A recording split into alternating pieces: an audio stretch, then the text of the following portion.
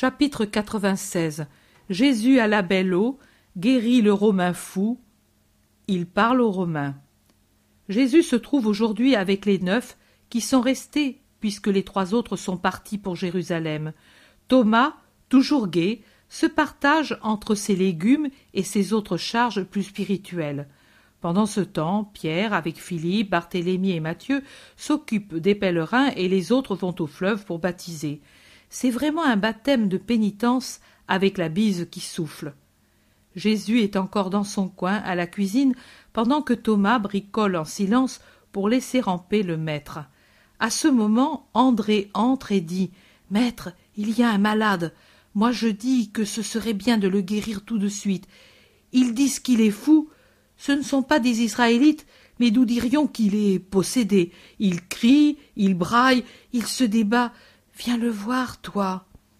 Tout de suite. Où est-il? Il est encore dans la plaine. Entends-tu ces hurlements? C'est lui. On dirait un animal, mais c'est lui. Il doit être riche, car celui qui l'accompagne est bien vêtu, et le malade a été descendu d'un char très luxueux et par plusieurs serviteurs. Ce doit être un païen, car il blasphème contre les dieux de l'Olympe. Allons-y. Je viens voir aussi, dit Thomas plus curieux de voir que préoccupé de ses légumes. Ils sortent, et au lieu d'aller vers le fleuve, ils tournent du côté des champs qui séparent cette ferme, ainsi dirions-nous, de la maison du régisseur. Des brebis broutaient dans un pré, mais maintenant effrayées, elles se sont éparpillées de tous côtés. Des bergers et un chien, c'est le second qui se présente dans mes visions, ont essayé vainement de les réunir. Au milieu du pré, il y a un homme que l'on tient solidement attaché et qui, malgré cela, bondit comme un forcené. Il pousse des cris effrayants, toujours plus forts à mesure que Jésus s'approche de lui. Pierre, Philippe, Matthieu et Nathanaël sont tout près, perplexes. Il y a aussi des gens, des hommes, car les femmes ont peur. Pierre dit Tu es venu, maître Tu vois quelle furie Ça va passer. Mais il est païen, le sais-tu? Et quelle valeur cela peut avoir? Et à cause de son âme? Jésus a un bref sourire et avance. Il rejoint le groupe du fou qui s'agite de plus en plus. Quelqu'un se détache du groupe, que son habit et son visage rasé font reconnaître que c'est un Romain. Il salue. Salut, maître. Ta réputation est arrivée jusqu'à moi. Tu es plus grand qu'Hippocrate pour les guérisons et que la statue d'Esculape pour opérer des miracles sur les malades. Je le sais. C'est pour cela que je viens. C'est mon frère, tu le vois. Il est fou à cause d'un mal mystérieux. Les médecins n'y comprennent rien. Je suis allé avec lui au temple d'Esculape, mais il en est sorti plus fou encore. J'ai un parent à Ptolémaïs. Il m'a envoyé un message avec une galère. Il disait qu'ici il y a un qui guérit tout le monde. Et je suis venu. Terrible voyage. Il mérite une récompense. Mais voilà, nous ne sommes même pas prosélytes, mais des Romains fidèles aux dieux, des païens, dites-vous, de Sybaris et maintenant à Chypre. C'est vrai, vous êtes païen. Alors, rien pour nous?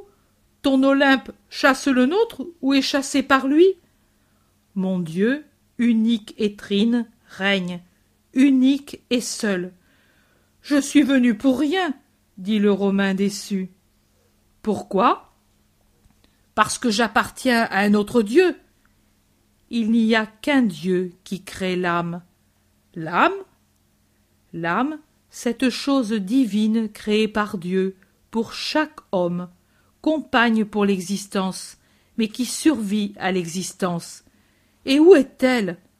Dans les profondeurs du moi, mais tout en étant comme chose divine dans le sanctuaire le plus sacré, on peut dire d'elle, et c'est elle que je dis, non pas celle-ci, parce qu'elle n'est pas une chose, mais être vraie et digne de tout respect, qu'elle n'est pas contenue, mais qu'elle contient.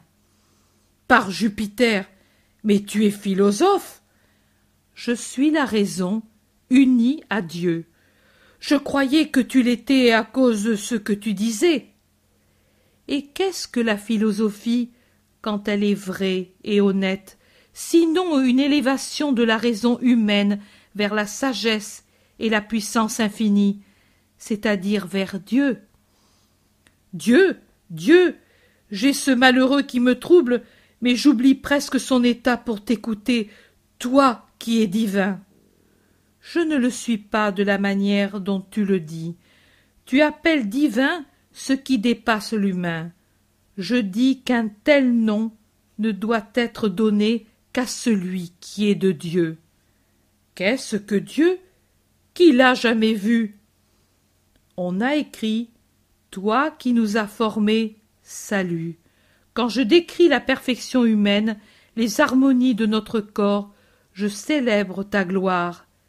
Il a été dit Ta bonté brille dans la distribution que tu as faite de tes dons à tous les vivants, pour que tout homme eût ce qui lui est nécessaire. Et tes dons témoignent de ta sagesse, comme l'accomplissement de tes volontés témoigne de ta puissance. Reconnais-tu ces paroles? Si Minerve vient à mon secours, elles sont de Galien, mais comment les connais-tu? Je suis stupéfait. Jésus sourit et répond Viens au vrai Dieu, et son divin esprit t'instruira de la vraie sagesse et de la piété qui consiste à se connaître soi-même et à adorer la vérité. Mais cela est toujours de Galien. Maintenant j'en suis sûr. En plus d'être médecin et mage, tu es également philosophe. Pourquoi ne viens-tu pas à Rome? Ni médecin, ni mage, ni philosophe comme tu dis, mais le témoignage de Dieu sur la terre. Amenez près de moi le malade. On le lui amène, criant et gesticulant. Tu vois, tu dis qu'il est fou, qu'aucun médecin ne peut le guérir, c'est vrai, aucun médecin, car il n'est pas fou, mais un être des enfers. Je parle ainsi pour toi qui es païen, est entré en lui. Mais il n'a pas l'esprit python, au contraire, il ne dit que des choses fausses. Nous donnons à cet esprit le nom de démon, nom de python. Il y a celui qui parle et celui qui est muet, celui qui trompe avec des raisons teintées de vérité et celui qui n'est que désordre mental. Le premier de ces deux est le plus complet et le plus dangereux. Ton frère a le second, mais maintenant il va en sortir. Comment? Lui-même te le dira. Jésus commande. Quitte l'homme. Retourne à ton abîme. Le démon. J'y vais. Contre toi, trop faible est ma puissance. Tu me chasses et me muselles. Pourquoi es-tu toujours victorieux? L'esprit a parlé par la bouche de l'homme, qui ensuite s'affaisse comme épuisé. Il est guéri déliez-le sans crainte. Guéri? En es-tu sûr? Mais. Mais moi je t'adore. Le Romain veut se prosterner, mais Jésus ne veut pas. Élève ton esprit, c'est au ciel qu'est Dieu. Adore-le et va vers lui. Adieu. Non, pour ça, non. Accepte au moins, permets-moi de te traiter comme les prêtres d'Esculape, Permets-moi de t'entendre parler, permets-moi de parler de toi dans ma patrie. D'accord, et viens avec ton frère. Le frère regarde autour de lui, stupéfait, et il demande Mais où suis-je? Ce n'est pas Saint-Guillaume ici. Où est la mère? Tu étais. Jésus fait un signe pour lui imposer le silence et dit Tu étais pris par une grande fièvre et on t'a conduit sous un autre climat.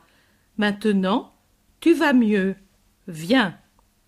Ils s'en vont tous, mais pas tous également émus. Il y a les admirateurs et ceux qui critiquent la guérison du Romain dans la salle de réunion. Et Jésus gagne sa place avec, au premier rang de l'assemblée, les Romains. Qu'il ne vous déplaise pas que je cite un passage des rois. On y dit que le roi de Syrie, étant sur le point de déclarer la guerre à Israël, avait à sa cour un homme puissant et honoré du nom de Naaman, qui était lépreux. Une jeune fille israélite prise par les Syriens, était devenu son esclave et lui avait dit Si mon Seigneur avait été chez le prophète qui est à Samarie, certainement il l'aurait guéri de la lèpre. À la suite de cela, Naaman demanda au roi la permission de suivre le conseil de la jeune fille. Mais le roi d'Israël se troubla fortement en disant Suis-je par hasard Dieu pour que le roi de Syrie m'envoie les malades? C'est un piège pour déclarer la guerre. Mais le prophète Élisée, mis au courant, dit Qu'il vienne à moi le lépreux, et je le guérirai, et il saura qu'il y a un prophète en Israël. Naaman se rendit alors chez Élisée, mais Élisée ne le reçut pas. Il lui envoya dire Lave-toi sept fois dans le Jourdain, et tu seras purifié. Naaman s'indigna, car il lui parut avoir fait pour rien une si longue route, et indigné, il était sur le point de repartir. Mais ses serviteurs lui dirent Il t'a seulement demandé de te laver sept fois, et même s'il t'avait commandé beaucoup plus, tu aurais dû le faire parce que c'est un prophète. Alors Naaman se rendit à ses raisons. Il alla au fleuve, se lava et revint sain. Ravi, il revint vers le serviteur de Dieu et lui dit Maintenant je sais la vérité. Il n'y a pas d'autre Dieu sur toute la terre, mais il n'y a que le Dieu d'Israël. Et comme Élisée ne voulait pas de ses cadeaux, il lui demanda la permission de prendre sur la terre d'Israël assez de terre pour pouvoir sacrifier au Dieu vrai. Je sais que vous n'approuvez pas tous ce que j'ai fait. Je sais aussi que je ne suis pas tenu à me justifier devant vous. Mais puisque je vous aime d'un amour vrai, je veux que vous compreniez mon geste et qu'il vous éclaire et que tombe de votre esprit toute pensée de critique ou de scandale. Ici nous avons deux sujets d'un état païen. L'un était malade, et on leur a dit, par l'intermédiaire d'un parent, mais certainement par la bouche d'un Israélite, si vous allez trouver le Messie d'Israël, lui guérira le malade. Et eux, de très loin, sont venus à moi. Plus grande encore que celle de Naaman a été leur confiance, car ils ne savaient rien d'Israël et du Messie. Alors que le Syrien était d'une nation voisine et en contact continuel avec les esclaves d'Israël, et qu'il savait déjà qu'en Israël il y a un Dieu, le vrai Dieu. N'est-ce pas une bonne chose que maintenant un païen puisse retourner dans sa patrie en disant Vraiment, en Israël il y a un homme de Dieu, et en Israël on adore le vrai Dieu Je n'ai pas dit Lave-toi sept fois, mais j'ai parlé de Dieu et de l'âme, deux choses qu'ils ignorent et qui, comme les bouches d'une fontaine intarissable, apportent avec elles les sept dons. Car où se trouve l'idée de Dieu et de l'esprit, et le désir de les trouver, naissent les arbres de la foi, de l'espérance, de la charité, de la justice, de la tempérance, de la force et de la prudence, vertus ignorées de ceux qui, de leur Dieu, ne peuvent que copier les communes passions humaines plus perverses parce que possédées par des êtres supposés supérieurs. Maintenant, ils retournent dans leur patrie, mais plus que la joie d'avoir été exaucés, ils ont celle de dire Nous savons que nous ne sommes pas des brutes, mais qu'après la vie, il y a encore une vie future.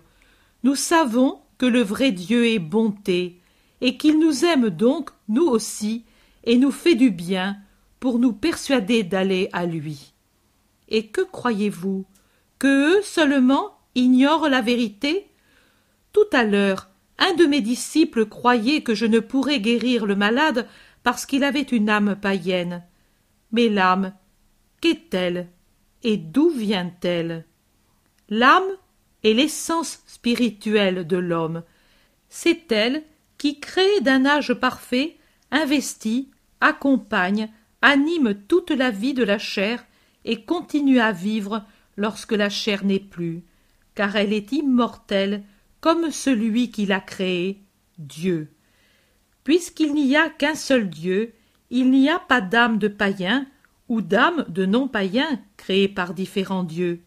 Il n'y a qu'une seule force qui crée les âmes, et c'est celle du Créateur, de notre Dieu, unique, puissant, saint, bon, sans autre passion que l'amour, la charité parfaite, toute spirituelle et, pour être compris de ces Romains, comme j'ai dit, charité, je dis aussi charité toute morale, car l'idée d'esprit n'est pas comprise par ces enfants qui ne savent rien des paroles saintes.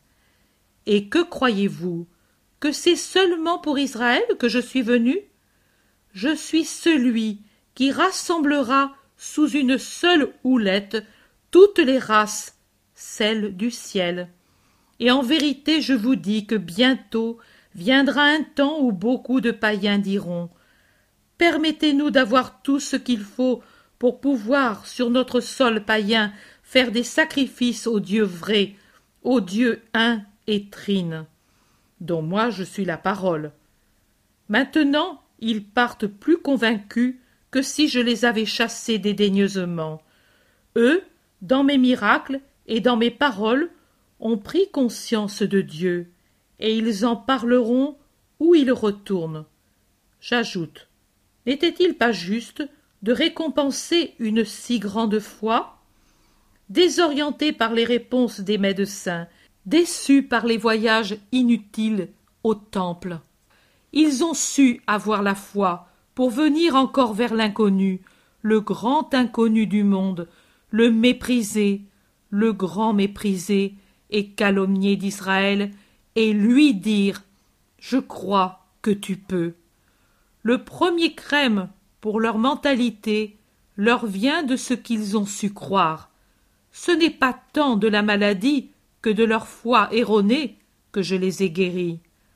En effet, j'ai porté à leurs lèvres un calice dont la soif croît à mesure que l'on boit, la soif de connaître le Dieu vrai. J'ai fini. Je vous dis à vous d'Israël, sachez avoir la foi comme ceux-ci qui ont su l'avoir. Le Romain s'approche avec son frère guéri. Oh. Je n'ose plus dire par Jupiter. Je dis, mais sur mon honneur de citoyen romain, je te jure que j'aurai cette soif. Maintenant je dois partir. Qui désormais me donnera encore à boire? Ton esprit, l'âme que tu sais maintenant de posséder jusqu'au jour où un de mes envoyés viendra vers toi. Et toi, non? Moi, moi, non. Mais je ne serai pas absent, tout en n'étant pas présent. Et il ne se passera qu'un peu plus de deux ans pour que je te fasse un cadeau plus grand que la guérison de celui qui t'était cher. Adieu à vous deux. Sachez persévérer dans ce sentiment de foi. Salut, maître, que le Dieu vrai te sauve les deux Romains s'en vont, et on les entend appeler leurs serviteurs avec le char. Un vieillard murmure. Et ils ne savaient même pas qu'ils avaient une âme. Oui, père, et ils ont su recevoir ma parole mieux que tant de gens en Israël. Maintenant, puisqu'ils ont donné une obole si importante, faisons-en profiter les pauvres de Dieu en doublant ou triplant l'aumône et que les pauvres prient pour ces bienfaiteurs plus pauvres qu'eux-mêmes, pour qu'ils arrivent à la vraie, l'unique richesse, connaître Dieu. La femme voilée pleure sous son voile qui empêche de voir ses larmes, mais pas d'entendre ses sanglots. Pierre dit Cette femme pleure. Peut-être n'a-t-elle plus d'argent. Pouvons-nous lui en donner? Ce n'est pas pour cela qu'elle pleure mais va lui dire ceci. Les patries passent, mais le ciel reste. Il appartient à ceux qui savent avoir la foi. Dieu est bonté, et c'est pour ce motif qu'il aime même les pécheurs, et il te donne ses bienfaits pour te persuader d'aller à lui. Va, dis-lui cela, et puis laisse-la pleurer. C'est du poison qui s'en va. Pierre s'en va trouver la femme qui se dirige vers les champs. Il lui parle et revient. Elle s'est mise à pleurer plus fort, dit-il. Je croyais la consoler. Et il regarde Jésus. Elle est consolée. En effet, la joie aussi fait pleurer. Hum, mais voilà, je serai content quand je verrai son visage. Le verrai-je? Au jour du jugement. Miséricorde divine. Mais alors je serai mort. Et qu'est-ce que cela me fera alors de le voir? J'aurai l'Éternel à contempler à ce moment-là. Fais-le tout de suite. C'est l'unique chose utile. Oui, mais maître, qui est-elle? Tout le monde rit. Si tu le demandes une autre fois, nous partons tout de suite. Ainsi, tu n'y penseras plus. Non, maître, cependant, il suffit que tu restes. Jésus sourit. Cette femme, dit-il, est un reste et une prémisse.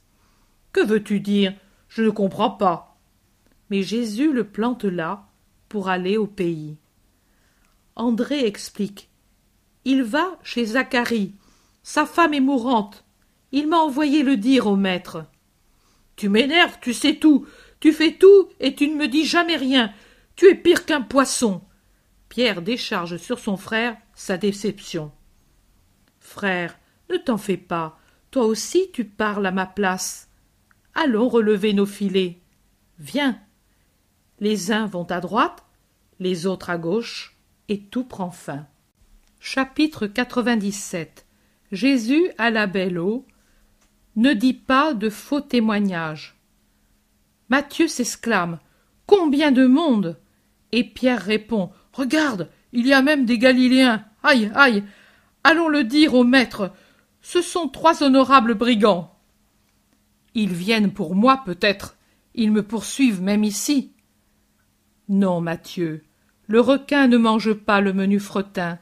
C'est l'homme qu'il veut, une noble proie. C'est seulement s'il ne la trouve pas qu'il happe un gros poisson. Mais moi, toi, les autres, nous sommes du menu fretin, proie sans importance. Mathieu demande. Pour le maître, tu dis Et pour qui alors? Tu ne vois pas comme il regarde de tous côtés? On dirait des fauves qui flairent les traces de la gazelle. Je vais le lui dire. Attends, disons-le au fils d'Alphée. Lui est trop bon. C'est de la bonté gâchée quand elle tombe dans ses gueules. Tu as raison. Les deux se rendent au fleuve et appellent Jacques et Jude. Venez, il y a des types, du gibier de potence. Ils viennent sûrement pour importuner le maître. Allons. Lui, où est-il? Encore dans la cuisine. Faisons vite, car s'il s'en aperçoit, il ne veut pas. Oui, et il a tort. Moi aussi, je suis de cet avis. Il retourne sur l'air.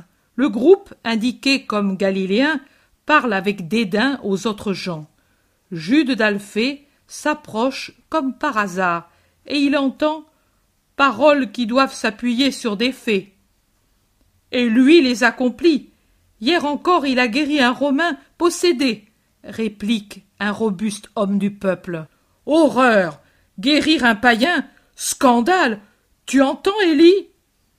Toutes les fautes en lui, amitié avec les publicains et les prostituées, relation avec les païens et et endurance des médisants. Celle-là aussi est une faute, à mes yeux la plus grave. Mais puisque lui ne sait pas, ne veut pas se défendre lui-même, parlez avec moi. Je suis son frère aîné, et celui-ci un frère encore plus âgé. Parlez. Mais pourquoi prends-tu la mouche? Tu crois que nous parlions mal du Messie? Mais non, nous sommes venus de si loin, attirés par sa renommée.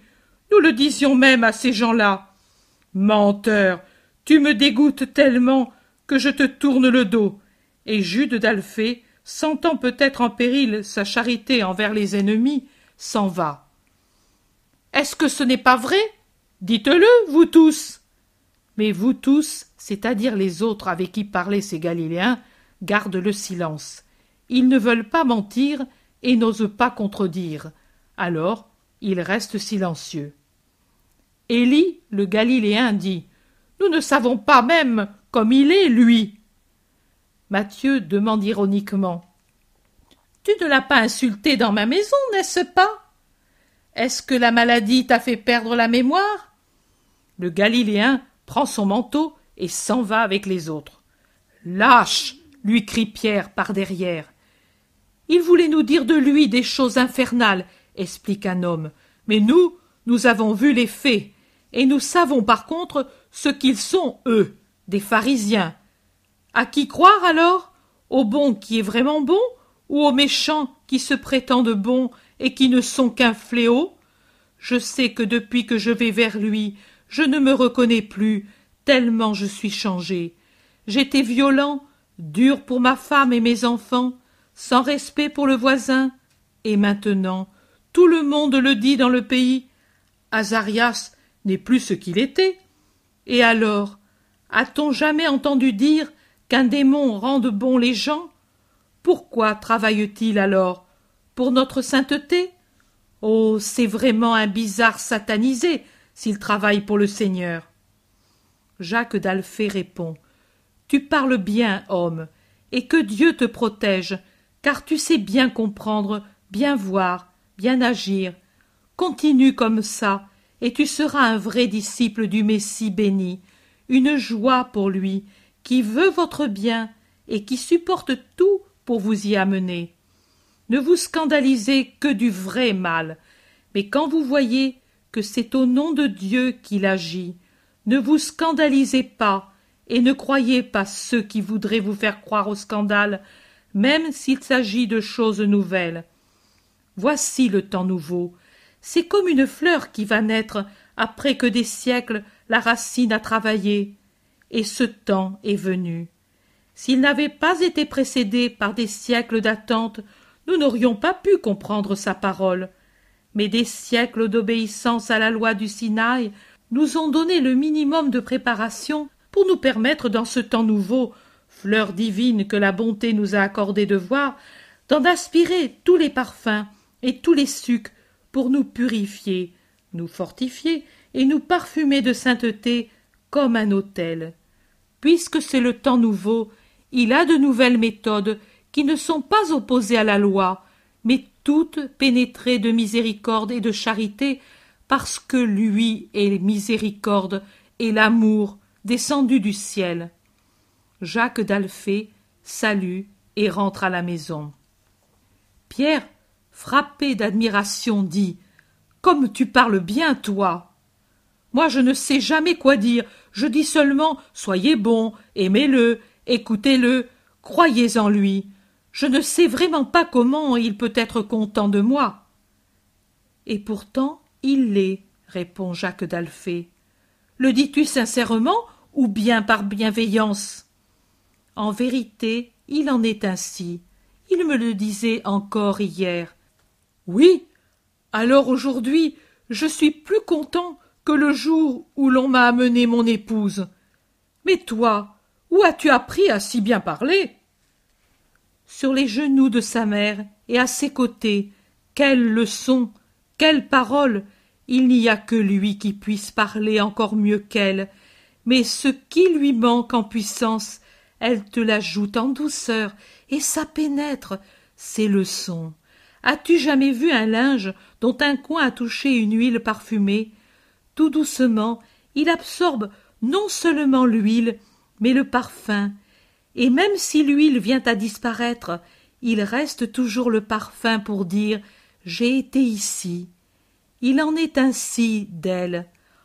En nous aussi, étoffe grossière, puis lavée par l'existence, elle a pénétré par sa sagesse et sa grâce, et son parfum demeure en nous. Pourquoi ne la fait-il pas venir? Il disait qu'il allait le faire. On deviendrait meilleur, moins têtu. Moi, du moins. Et même ces gens, ils deviendraient meilleurs, même ces aspics qui viennent de temps à autre. Tu le crois? Moi non nous deviendrions meilleurs et les humbles aussi le deviendraient. Mais les puissants et les méchants, ô Simon de Jonas, ne prête jamais aux autres tes sentiments honnêtes, tu en serais déçu. Le voici. Ne lui disons rien. Jésus sort de la cuisine, tenant par la main un petit garçon qui trottine à ses côtés en mordillant une croûte de pain huilé. Jésus règle le long pas de sa démarche sur les petites jambes de son ami. Une conquête, dit-il joyeux. Cet homme de quatre ans, qui s'appelle Azraël, m'a dit qu'il veut être un disciple et qu'il veut apprendre à prêcher, à guérir les enfants malades, faire venir du raisin sur les sarments en décembre, et puis il veut gravir une montagne et dire à tout le monde Venez, c'est le Messie. N'est-ce pas, Azraël? Et le bambin rit, dit que oui, oui, et entre-temps grignote sa croûte. Thomas lui dit pour le taquiner Toi, tu sais à peine manger, tu ne sais pas même dire qui est le Messie. C'est Jésus de Nazareth. Et qu'est-ce que ça veut dire, Messie? Ça veut dire, ça veut dire l'homme qui a été envoyé pour qu'on soit bon et rendre bon tout le monde. Et comment faire pour devenir bon? Toi qui es un gamin, comment feras-tu? Je l'aimerai, et je ferai tout, et lui fera tout parce que je l'aime. Fais toi aussi, et tu deviendras bon. Et la leçon t'est donnée, Thomas. Voilà le commandement. Aime-moi, et tu feras tout, car je t'aimerai si tu m'aimes, et l'amour fera tout en toi. L'Esprit Saint a parlé. Viens, Azraël, allons prêcher. Il est si joyeux, Jésus, quand il a un enfant, que je voudrais lui amener tous les enfants et le faire connaître par eux tous. Il y en a tant qui ne le connaissent même pas de nom. Il va passer devant la femme voilée, et avant de la croiser, il dit à l'enfant Dis à cette femme La paix soit avec toi. Pourquoi? Parce qu'elle a un bobo comme toi quand tu tombes, et elle pleure. Mais si tu lui dis ainsi, ça va la guérir. La paix soit avec toi, femme. Ne pleure pas. Le Messie me l'a dit. Si tu l'aimes bien, lui t'aime bien et te guérit. C'est ce que dit Azraël pendant que Jésus l'entraîne avec lui sans s'arrêter. Il y a vraiment en Azraël l'étoffe d'un missionnaire. Même s'il est parfois un peu intempestif dans ses prédications, et s'il en dit plus que ce qu'on lui a demandé de dire. La paix à vous tous. Tu ne diras pas de faux témoignages, est-il dit. Qu'est-ce qu'il y a de plus dégoûtant qu'un menteur? Ne peut-on pas dire qu'il unit la cruauté à l'impureté Oui qu'on le peut. Le menteur, je parle de celui qui ment en matière grave, est cruel. Il tue la réputation avec sa langue. Il n'est donc pas différent de l'assassin. Je dis même il est pire qu'un assassin. Ce dernier ne tue que le corps. Le menteur tue aussi le bon renom, le souvenir d'un homme. Il est donc deux fois assassin. C'est l'assassin impuni car il ne répand pas le sang, mais il blesse l'honneur à la fois de celui qu'il calomnie et de sa famille tout entière. Et je ne m'arrête même pas au cas de celui qui, en prêtant serment, envoie un autre à la mort. Sur celui-là sont déjà accumulés les charbons de la géhenne. Mais je parle seulement de celui qui, par un mensonge, fait des insinuations et persuade d'autres personnes au détriment d'un innocent. Pourquoi le fait-il? Ou par haine, sans raison, ou bien par le désir d'avoir ce qu'un autre possède, ou bien par peur. Par haine. Il est mené par la haine, celui-là seul qui est l'ami de Satan. Celui qui est bon ne est jamais, pour aucun motif, même si on le méprise, si on lui fait du tort, il pardonne. Il ne hait jamais. La haine, c'est le témoignage qu'une âme perdue donne à elle-même, et c'est le plus beau témoignage qui puisse être donné à l'innocent. Car la haine, c'est la révolte du mal contre le bien. On ne pardonne pas à celui qui est bon. Par avidité, celui-ci a ce que je n'ai pas je veux l'avoir. Ce n'est qu'en le faisant mépriser que je puis avoir sa place. Et je le fais. Je mens, qu'importe. Je vole, qu'importe. Je puis arriver à ruiner toute une famille Qu'importe. Parmi toutes les questions que le menteur rusé se pose, il oublie, il veut oublier une question, celle-ci. Et si on me démasquait? Cette question, il ne se la pose pas, parce que, emporté par l'orgueil et l'avidité, c'est comme s'il avait les yeux fermés. Il ne voit pas le danger. Il est encore comme un homme ivre. Il est enivré par le vin de Satan et ne réfléchit pas que Dieu est plus fort que Satan et se charge de venger ceux que l'on calomnie. Le menteur s'est donné au mensonge et il se fie stupidement à sa protection. Par peur. Bien souvent, quelqu'un calomnie pour s'excuser lui-même. C'est la forme la plus commune du mensonge. On a fait le mal, on craint que notre action soit découverte et reconnue. Alors, usant et abusant de l'estime que l'on a encore près des autres, voilà qu'on dénature le fait et que ce qu'on a fait, on le met sur le compte d'un autre dont on craint seulement l'honnêteté. On agit encore ainsi parce qu'un autre, parfois, a été sans le vouloir témoin de l'une de nos mauvaises actions, et alors on veut se mettre à l'abri de son témoignage. On l'accuse pour le rendre odieux, afin que s'il parle, personne ne le croit. Mais agissez bien, agissez bien, et vous n'aurez jamais besoin de mentir. Ne réfléchissez-vous pas, quand vous mentez, au joug pesant que vous vous mettez sur les épaules. Il est fait de l'assujettissement aux démons, de la peur perpétuelle d'un démenti et de la nécessité de se rappeler le mensonge avec les faits et les détails qui l'entouraient, même après des années, sans tomber dans une contradiction. Un travail de galérien. Et encore, s'il servait au ciel, mais il ne sert qu'à préparer une place dans l'enfer. Soyez francs, comme elle est belle la bouche de l'homme qui ne connaît pas le mensonge. Il sera pauvre, il sera frustre, il sera inconnu, il l'est même, oui, mais c'est toujours un roi parce qu'il est sincère, et la sincérité est quelque chose de royal plus que l'or et qu'un diadème, et il élève au-dessus des foules plus qu'un trône, et il a une cour de gens honnêtes plus nombreuse que celle d'un monarque. Le voisinage de l'homme sincère procure la sécurité et le réconfort. L'amitié d'un homme qui n'est pas sincère procure des ennuis, et même son seul voisinage donne une impression de malaise.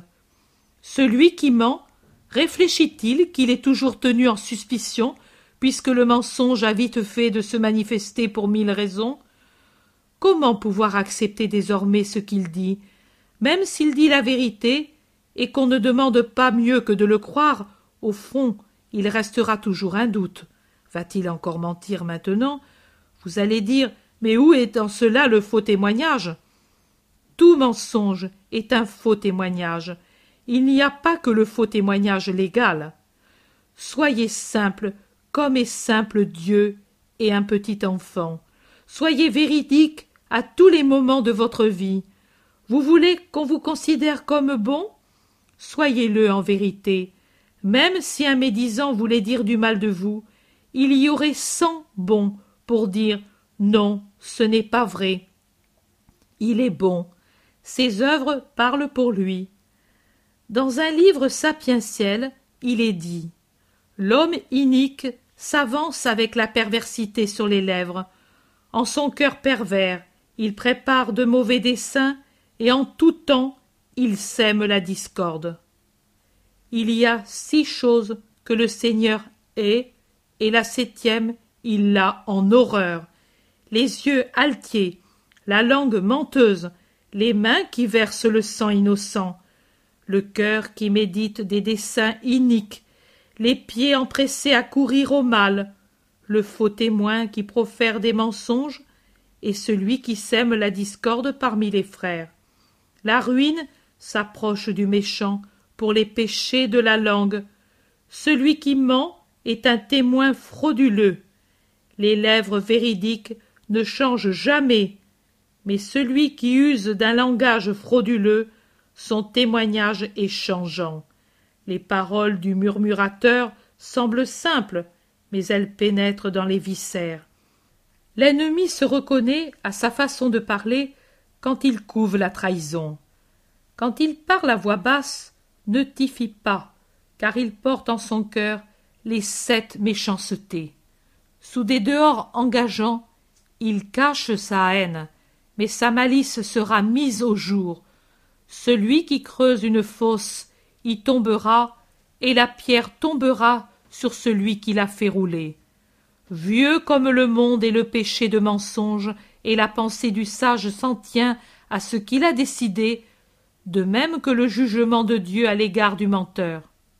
Je vous dis, ayez toujours un seul langage, que le oui soit toujours oui, et le non toujours non, même en face des puissants et des tyrans. Et vous en aurez un grand mérite pour le ciel. Je vous dis, ayez la spontanéité de l'enfant qui va d'instinct vers celui dont il ressent la bonté, sans chercher autre chose que la bonté, et qui dit ce que sa bonté elle-même lui fait penser, sans calculer s'il en dit de trop, et s'il peut en avoir du blâme. Allez en paix, et que la vérité devienne votre ami. Le petit Azraël, qui est toujours resté assis au pied de Jésus, la tête levée comme un petit oiseau qui écoute la voix de son père, a un mouvement tout de douceur. Il frotte de son petit visage les genoux de Jésus et il dit Moi et toi, nous sommes amis parce que tu es bon et que je t'aime. Maintenant je le dis moi aussi. Et il force sa voix pour se faire entendre dans toute la vaste pièce, et il parle en faisant des gestes comme il a vu faire à Jésus. Écoutez tous, je sais où vont les personnes qui ne disent pas de mensonges et qui aiment bien Jésus de Nazareth. Ils montent par l'échelle de Jacob et vont en haut, en haut, en haut, en même temps que les anges. Ensuite, là, ils s'arrêtent quand ils trouvent le Seigneur. Et il rit heureux en montrant toutes ses dents. Jésus le caresse et descend parmi les gens. Il rapporte le petit à sa mère. Merci, femme, de m'avoir donné ton enfant. Il t'a donné des ennuis? Non, il m'a donné de l'amour. C'est un petit du Seigneur. Que le Seigneur soit toujours avec lui et avec toi. Adieu. Tout prend fin.